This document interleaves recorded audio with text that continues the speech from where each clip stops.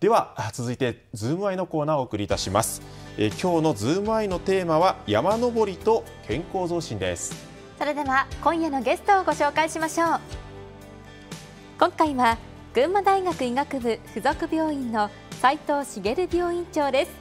齋藤病院長はや山登りで作る感染症に強い体といった本を書かれていらっしゃいます。今夜はよろしくお願いいたします。よろしくお願いいたします、えー、本題に入る前にあのトップニュースでもお伝えしたんですけれども今日県内で103人の感染者ということで過去2番目でしたが、現状の受け止めというのはいかがでしょうか？はい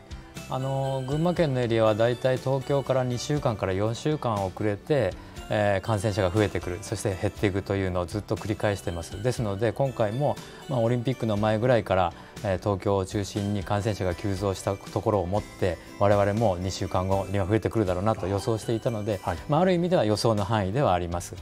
でまたあの県内の各医療機関も私どもも含めてこれまでの経験で、まあ、どういった対策が必要かどういった治療がいいかということは十分経験積んできてますのでまあ、万全の体制でこの後の感染者も受け入れていきたいというふうに考えているところです。まあ、県民の方々には先ほど山本知事からも強いメッセージが発せられてましたけども、はい、ああいった注意をしっかり守っていただきたいと思います。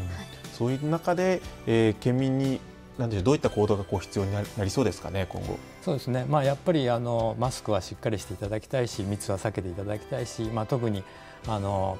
えー、どうしても最近、まあ、ある意味コロナ慣れじゃないですけれども慣れてきて、まあ、その前の通常の生活に近いところをもう皆さんやっていいんじゃないかと思ってますけど、まあ、そこはもうちょっと我慢していただきたいというふうに思います。はいまあ、そういった中で今日本題に、ね、戻りますけども、はい、こういった免疫力を高めていく取り組みというところをご紹介いただきたいと思うんですけれどもまずはその免疫力というのがどういったものかご説明いただけますか？はいまあ、すごい大きな概念ですけれども、あの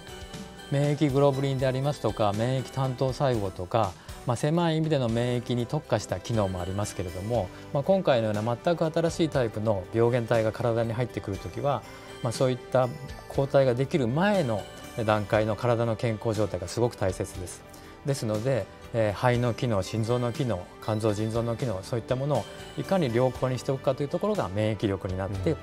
そういった体全体の健全性で感染防御するというふうに考えてほしいと思います。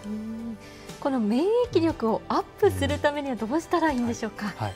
あの先ほど申し上げた全身の健康状態というところで言えば生活習慣病対策とほぼ通じるところがあります。うん、やっぱり規則正しい生活をする。具体的にはよく寝ておく。そしてあの強度のストレスにならないように、まあ、仕事はほどほどにするとかですね飲みすぎないとかですねそういったこともありますし、えー、免疫グロブリンを作るためのしっかりとした栄養、えー、細胞分裂を促進するための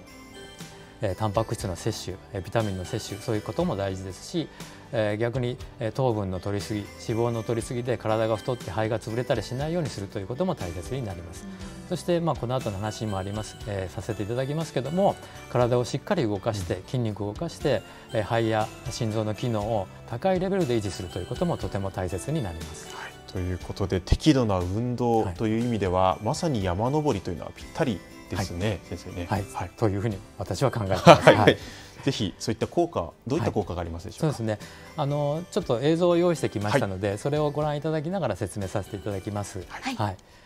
あの2週間ほど前に赤城の黒火岳の周辺を仲間と歩いてきました。はい。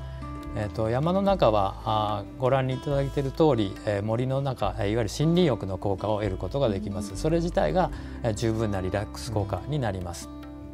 そして平地を歩くのと違って坂を上り下りしますので、まあ、心肺機能にしっかりと負荷をかけてそこを鍛えていくことができますし、えー、下半身の筋力を高めることができます。そして今この写真にあります通り広いところで1人2人3人と、えー、1人当たりの占有面積がかなり大きいところで活動しますからこれ自体が感染対策の運動というふうになります。まあ、当然急な坂道を登っていくと息が上がってくるわけですけどもえ周りに人がいないような広い山の中でしたら思いっきり深呼吸を繰り返すことができます。え肺の奥に溜まったガスを何度も入れ替えることで肺の大掃除をするというイメージを持っていただけると思います。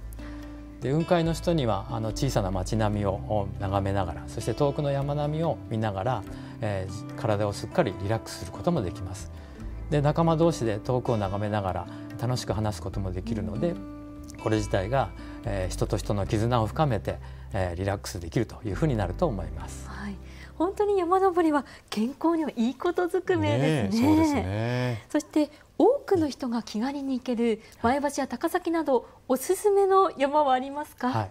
まあ、群馬山だらけですのでいっぱいあるんですけども、はい、まあ、特に前橋高崎から近いところをいくつか紹介したいと思います。ありがとうございます。はい。えっ、ー、とまず最初はですね、前橋市と渋川市の境にある立花山です。はい、えー、赤城山の広い裾野の末端に位置していて、利根川の河川敷のすぐ脇になります。えー、山の中に入りますと山の名前立花の由来がある、えー、石の祠とか案内板がついています。で車を止めてるその駐車場のすぐ脇には、えー、コースの概要を示した、まあ、詳細な地図も添えられていて、えー、今日は何百メートル歩いて何分で、えー、運動しようかといったことが簡単に計画できるとてもいいコースになっています。いいですねこれねはいで落ち葉のたまったやや広めの緩い坂を上り下りすることができますし、まあ、コースの南端の方はとても明るい森になっているので前橋市街を遠くに眺めながら気持ちのいいウォーキングができるというコースになります。で2つ目はですね今度は高崎市、えー、高崎駅の、えー、南西側に広がる名古屋丘陵を紹介したいと思います。はい、えー、すぐ下を上信電鉄が走っている、えー、烏川の西側の丘陵になります。山道を入ると万葉集の碑がいくつも建てられていてそういったものを眺めながら散策することができます。で木枠の階段を上り下りしながら、まあ、下半身の機能をしっかり強化することができますしなんといってもここは最初と最後が金井沢の日山の上の日といった世界記録遺産ですので歴史の勉強とエクササイズと頭と体と両方鍛えられるとてもいいコースですね。はい、はいで3つ目は高崎市吉井町の南端藤岡市平井地区との境にある牛伏山になります。ここは、えー、町の郊外でありながら標高が490メートルとかなり高い山ですので、えー、急な坂の上り下りの運動ができます、えー、道路から少し入ると、え、急な階段がいくつもつながるそういったコースになっています。えここでも大きく深呼吸をしながら、まあ、心肺機能を鍛えてそして足腰を鍛えるということができますそして舗装道路のすぐ脇とは思えないような深い森になっているので、えー、先ほどと同じように、まあ、森林浴気分たっぷりなエクササイズができるというふうになります。はい、ね、また撮影していただいた日がどれもいい天気の日ばかりなので 本当こういう中で歩けたら気持ちいいななんてね、ね、思います、元気に生きてるなっていう感じがすると思います。そうですよね。はい、でまたあの今回は前橋高崎の山3つを教えていただきましたが、はい、それ以外にもご紹介いただけるそうですね、ええ、まあ、夏休みシーズンですのでもうちょっと山らしいところ行きたいよっていう人が多いと思います、はい、そこで、えー、群馬県の県境に位置する山を2つほど紹介したいと思います。こちらも映像をご覧いただきながら解説したいと思います。けれども、はい、まあ、最初は群馬県を代表する谷川岳です、うん、まあ、谷川岳、えー、岩場そして豪雪というところで、まあ、怖い山というイメージがあるかもしれませんけども、まあ、夏場でしたらえー、ロープウェイを使うことで、えー、割と楽にアプローチすることができて、えー、ロープロープウェイで登った上の天神平スキー場の位置は、まあ、そこで標高が1500メートルありますから山頂までの標高差は上り下り入れても600メートル前後ということで、えー、歩き慣れた人だったらばあ2時間前後で山頂まで行けてしまう、えー、行って帰ってきて半日という、えー、お手軽なコースになっています。で、えー、コースの前半は、まあ、森の中になりますけれどもとても歩きやすい、えー、木道などが設置されています。で後半は写真にあります通り、えー、広大な、えー、草原地帯になりますので、え、とても気持ちのいいウォーキングができます。で山頂はトマの耳沖の耳と2つに分かれていてこの間は高山植物と、えー、素晴らしい山並みを眺められる絶好の展望コースになっています。でもう一つは栃木県と群馬県の境にある日光白根山ですえ両方の県にまたがって両方の県の最高地点になっていますこちらも丸沼高原のロープウェイを使うことで標高差を一気に稼ぐことができますからロープウェイの山頂駅から山の山頂までの標高差が500メートルちょっとということで比較的お手軽な登山コースになります。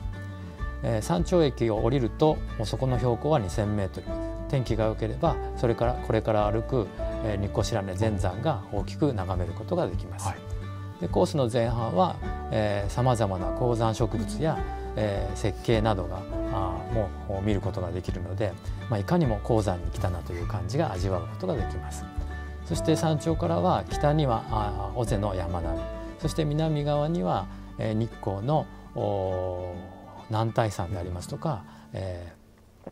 中禅寺湖そういったものを眺めるところができる、とても印象的な山並みになっています、はい、ね、景色植物も楽しめて、はい、でまたロープウェイで行ける2か所ということで、はい、お手軽なコースをねご紹介いただきました、天気のいい日にぜひ行っていただきたいと思いますね。はいさて現在はコロナ禍ということで山登りでも感染対策しっかりと行ってほしいと思いますが、うん、マスクなど注意してほしいことはあるんでしょうか？そうですね。あのこちらもちょっと映像を撮ったので、まあ、それをご覧いただきながら解説したいと思います。はい、はい、お願いします。えっ、ー、と山の中でも街中と同じやっぱり密は避けなくちゃいけないんですけれども、えー、山の登りでマスクをして歩くのはとても大変です。で夏場は特に熱中症にもなりやすくなってしまいますので、マスクをしない場合は、えー、この写真のようにある程度距離を5メートルから10メートルぐらい人と人と間隔をとって歩いてほしいと思います。まあ、たそれでも人のすれ違いの時にはですねそうそう距離も取れないという時には、えー、マスクそれから、まあ、ランニング用の専用のマスク、うん、あるいは、えー、タオルバンダナ手ぬぐいそういったもので、まあ、いわゆる飛沫が飛ばないようにして、えー、すれ違ってほしいと思います。で山の上の山頂に着きました、えー、これから飲んだり食べたりしますという時には車座にはならないで横一列に並んで飲んだり食べたりしてほしいと思います。まあ、部屋の中で壁を見ながら飲んだり食べたりするのはとても暗い雰囲気になっちゃいますけど山でしたら遠くの良い景色を見ながら飲んだり食べたりできるので、むしろ車座になるよりも楽しいかと思います。ね、はい。ね、今教えていただいた感染対策を取りながら、はい山でぜひ皆さんにリフレッシュしてほしいですよね。ねはい、ぜひあの最後に県民の皆さんにお伝えしたいことあればお願いしたいんですが、はい、そうですね。まあ群馬県はあ素晴らしい自然環境に囲まれています。面積の4分の3ぐらいが山ですので、ぜひこの環境を生かして、えー、健康増進を図っていただきたいというふうに思います。はい、今夜は群馬大学医学部附属病院の斉藤茂病院長にお話を伺いました。ありがとうございました。ありがとうございました。